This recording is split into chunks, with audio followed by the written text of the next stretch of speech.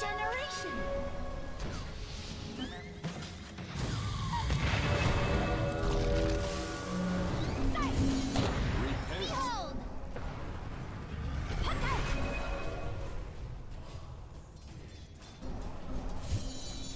Cyberlight has plenty of time to use his doom.